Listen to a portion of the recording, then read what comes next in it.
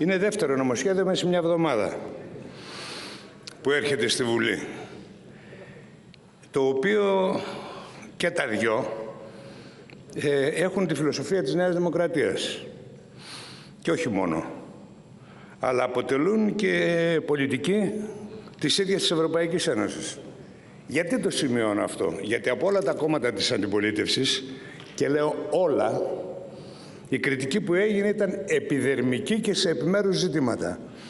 Κανένας δεν τόλμησε και δεν τολμάει, και είναι καθαρό αυτό, να θίξει τα ιερά και τα όσια της Ευρωπαϊκής Ένωσης. Εμείς θα κάνουμε αυτό ακριβώς.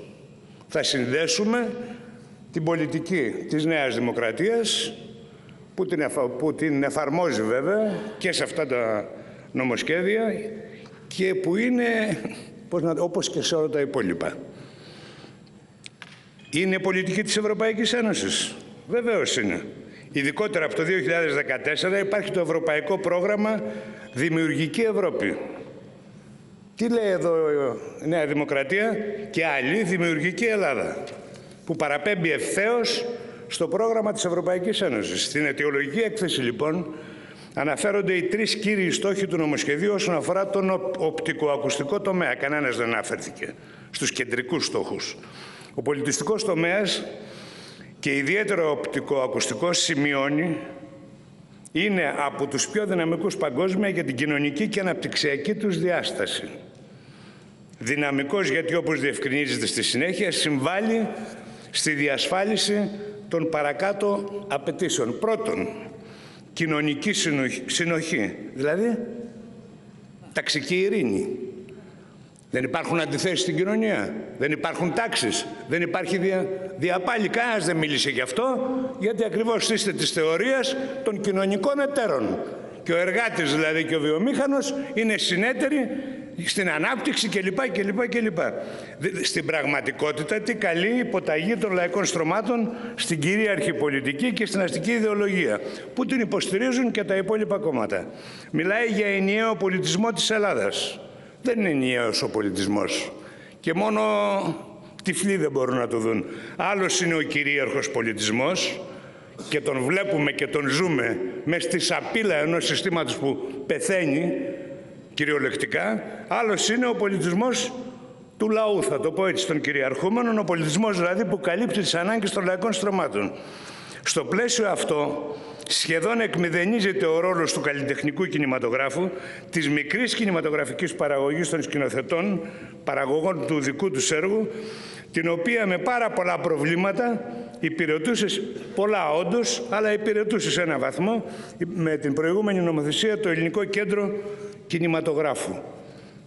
Ποιος, ποιος ωφελείται από αυτή την κατάσταση; Οφειλείται ο εμπορικός κινηματογράφος.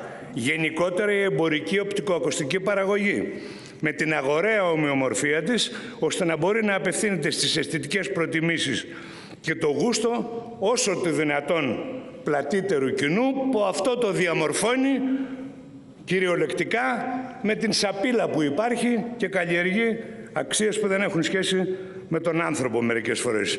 Στοιχεία της διασφάλισης αυτής της κοινωνικής συνοχής είναι και ο αντικομουνισμός και η εξίσωση κομμουνισμού φασισμού όπως και τα σύγχρονα αφηγήματα για τον ατομικό δικαιωματισμό. Βρήθη, ειδικά μετά το 1990-91, τέρατα και σημεία γίνονται από κινηματογραφικές παραγωγές διαστρέβλωσης της ιστορίας, αντικομουνισμού και μετά αναρωτιέστε γιατί ο φασισμός ανεβαίνει και η ακροδεξιά ανεβαίνει.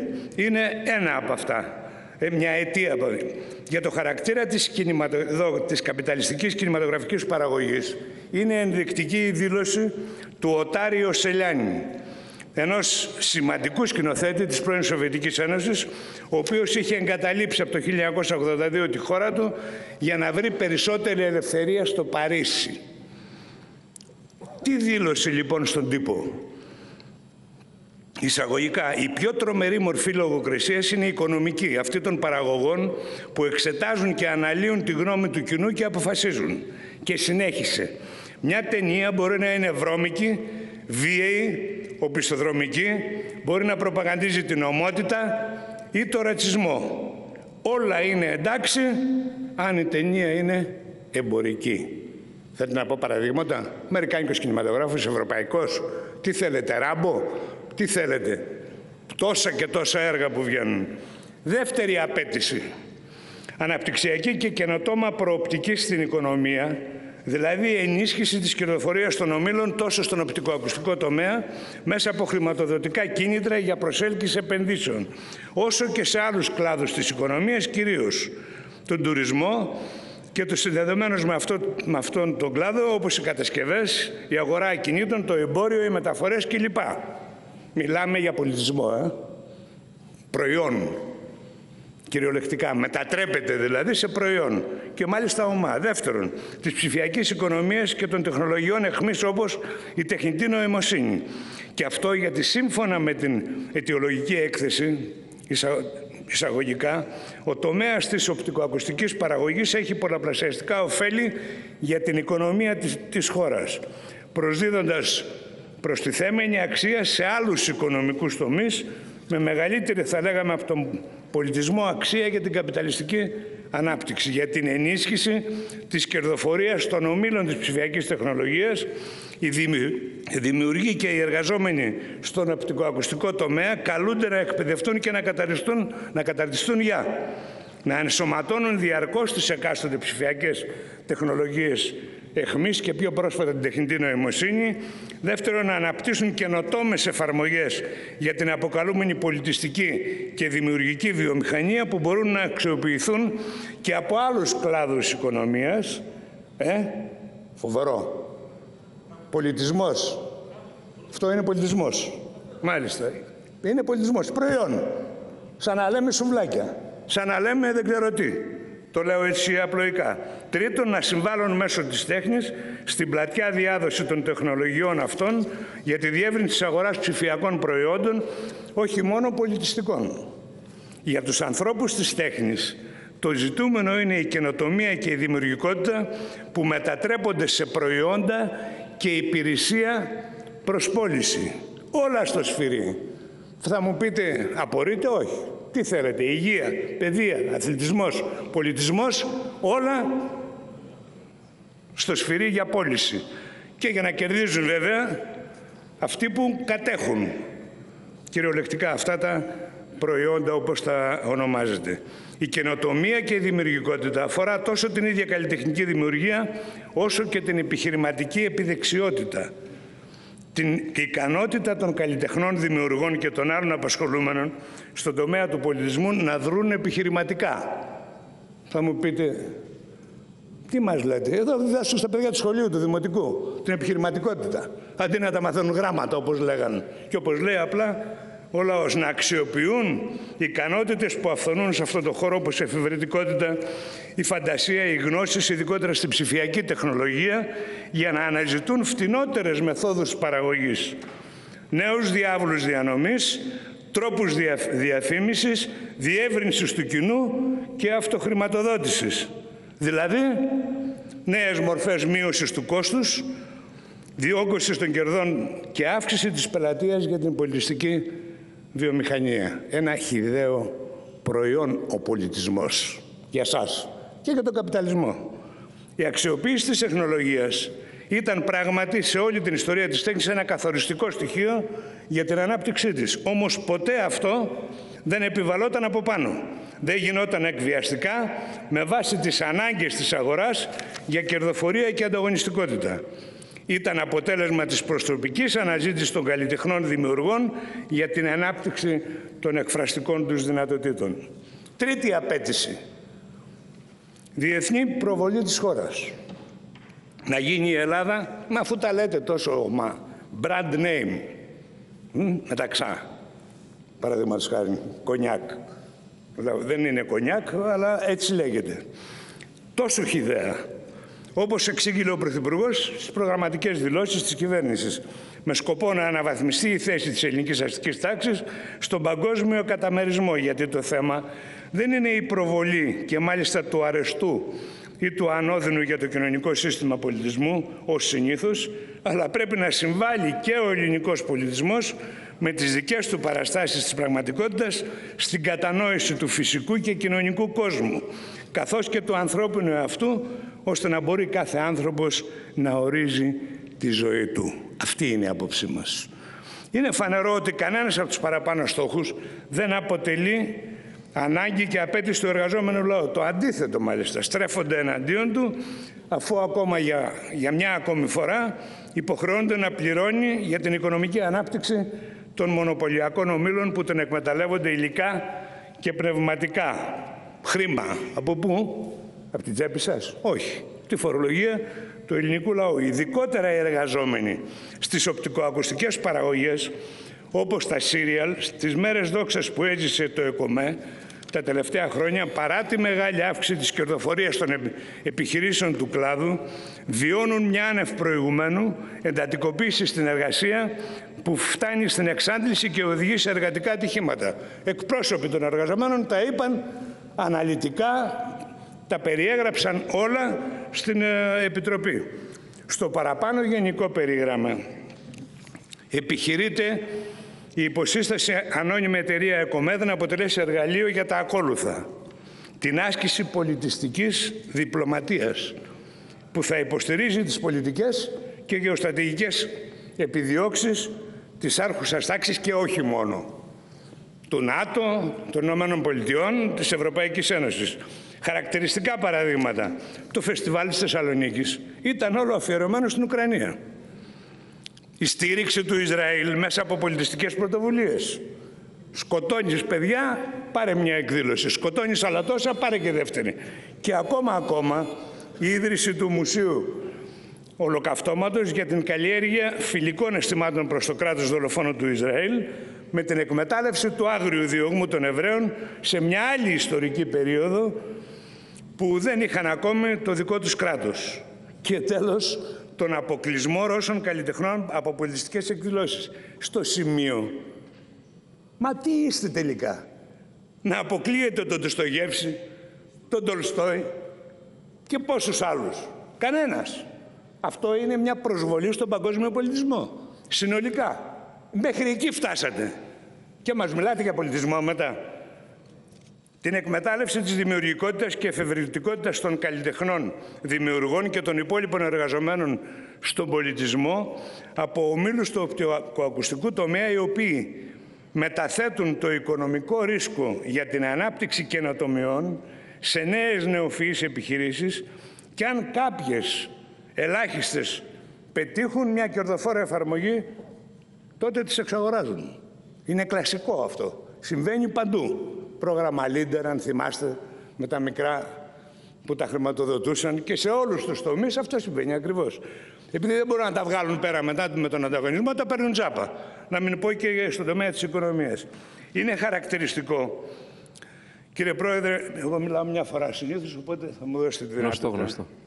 Παρόλο που πάρα Είναι χαρακτηριστικό πως αντί για ενίσχυση της γενικής παιδείας και της αισθητικής αγωγής που θα αναπτύξει την ικανότητα να ξεχωρίζει κανείς το στάρι από τα ή στην πολιτιστική παραγωγή, το νομοσχέδιο μιλάει για ψηφιακό γραμματισμό. Δηλαδή, για συνεχή κατάρτιση με βάση τις τεχνολογικές εξελίξεις με στόχο να μεγεθυνθεί η πλατεία της αποκαλούμενης οπτικοακουστικής βιομηχανίας.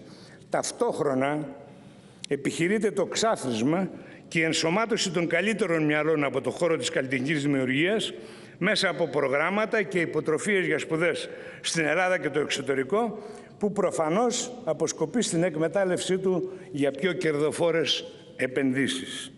Η ανάγκη για μια πιο αποτελεσματική προώθηση των παραπάνω στόχων με οικονομία κλίμακας και εξορθολογισμό του υπάρχοντος πλαισίου λειτουργίας του οπτικοακουστικού τομέα είναι βέβαια αυτή που υπαγορεύει και τη δημιουργία του νέου φορέα με τη συγχώνευση ΕΚΟΜΕ και ε, Ελληνικό Κέντρο Κινηματογράφου. Δεν πρέπει ωστόσο εδώ να ξεχαστεί ότι την προηγούμενη φάση προώθησης του στόχου ίδρυσης του ΕΚΟΜΕ από την κυβέρνηση του ΣΥΡΙΖΑ το 2017 για την προσέλκυση και διευκόλυνση διεθνών και εγχώριων επενδύσεων τα ίδια που λέει και η Νέα Δημοκρατία, δηλαδή τα ίδια που λέει και η Ευρωπαϊκή, και η Ευρωπαϊκή Ένωση, προκειμένου να ενισχυθεί η θέση της χώρας ως τουριστικού προορισμού, εδώ τώρα έχουμε κι άλλη απογείωση, όρος, ότι πρέπει να παρουσιάζει τρίλεπτη διαφήμιση, δεν ξέρω τι ακριβώς που υπάρχει. Και η γενικότερη διεθνής προβολή, το ΕΚΟΜΕ της βρέθηκε με χρέος 200 εκατομμύριων ευρώ. Και δεν έχει δοθεί και καμιά εξήγηση, εκτός από διάφορα μισόλογα, τι ακριβώς έχει γίνει με τη διαχείριση. Οι εξελίξεις αυτές συνολικά, και εδώ να χωρίσουμε, είμαστε δύο κόσμοι εδώ μέσα. Μία που, ένας κόσμος που τον έχει η Νέα Δημοκρατία και τον υπηρετεί πιστά και ακολουθούν και όλοι οι υπόλοιποι στην ίδια γραμμή και στην ίδια λογική. Εμείς λέμε ότι η σημερινή ανάπτυξη των παραγωγικών δυνάμεων, η ραγδαία εξέλιξη των εκφραστικών μέσων της τέχνης με τη συμβολή της επιστήμης και της τεχνολογίας και προπαντός η μορφωτική πολιτιστική ανάπτυξη του καλλιτεχνικού δυναμικού δεν χωράει στις ξεπερασμένες εκμεταλλευτικές σχέσεις παραγωγής. Δεν χωράει, πνίγεται. Που όσο αναπροσαρμόζονται και εξυγχρονίζονται γίνονται ακόμα πιο αντιδραστικές. Έχουμε άδικο. Το μαρτυράει. Η μπόχα που εκπνέεται από παντού. Ο βούρκος που, εκπέμπει, που εκπνέεται από παντού και βέβαια η μετατροπή των πάντων στο πουλάω και αγοράζω. Δική μας αφετηρία λοιπόν είναι ότι ο πολιτισμός δεν μπορεί να αποτελεί εμπόρευμα και πεδίο κερδοφορίας και ανταγωνισμού και ότι η κοινωνική αποστολή της τέχνης, επομένως και του κινηματογράφου και γενικότερα του οπτικοακουστικού έργου, είναι η καλλιέργεια πνευματικού, του πνευματικού κόσμου του ανθρώπου, που θα τον κάνει ικανό να αναγνωρίζει την πραγματικότητα για να μπορεί να την αλλάξει σύμφωνα με τις σύγχρονες ανάγκες του, αντί ευχάριστα να τον αποκοιμίζει και να τον χειραγωγεί και να του δημιουργεί, θα έλεγα σε γνήσια ελληνικά, μια virtual reality, δηλαδή μια εικονική πραγματικότητα.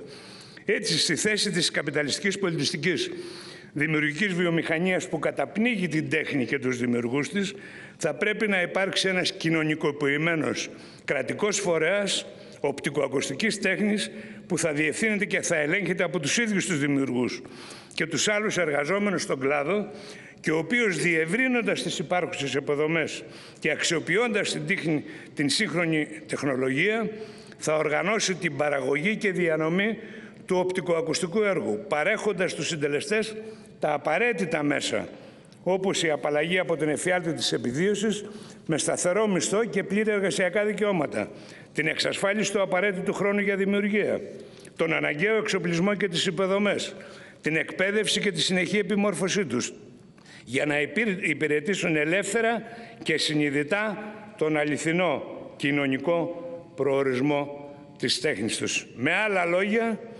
η απελευθέρωση της τέχνης και των δημιουργών και των δημιουργών της προϋποθέτει την κατάργηση της καπιταλιστικής ιδιοκτησίας στα μέσα παραγωγής, γιατί το κίνητρο είναι το κέρδος και δεν είναι το πολιτιστικό προϊόν, αλλά υπάρχουν και κάποιες εξαιρέσεις.